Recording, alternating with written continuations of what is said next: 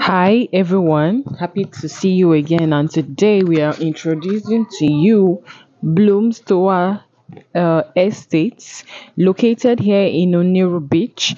This property is strategically located near the Oniru Beach. It's just a walk to Oniru Beach, and you're already at the beach. And uh, it's a uh, governor's consent title and uh, if you're asking what can be built here so we are going to be having apartments here such as uh, three bedroom penthouse plus bq three bedroom maisonette plus bq three bedroom apartments two bedroom maisonette two bedroom apartments one bedroom maisonette one bedroom apartment and we also have office spaces here. And uh, if you're you're looking for where you want to build your restaurant, you want an apartment for shortlets, for rent here, for rentals, or you want to live here. So you ought to be here because this property comes is giving you a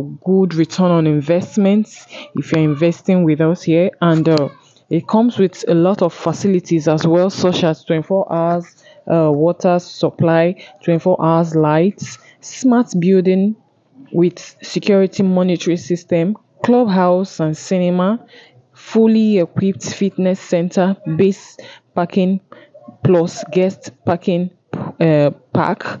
We have gas to home for kitchen, elevator, and so many other beautiful facilities you can find here. A good swimming pool as well. It comes with a swimming pool over here. So now, this property with the initial deposit of 30%, you're on your way to being a landlord already. And uh, we are going to be having here, uh, we are going to be having here 19 to 21 floors. So it's a residential and commercial residence, and it is linked to uh, so many other uh, locations here accessible locations such as VI, Ikoyi, and uh, Aja, and some other uh, locations around here. So it's a serene environment and a good experience for nature. So all you need to do now for more information about this property is call the number on 08126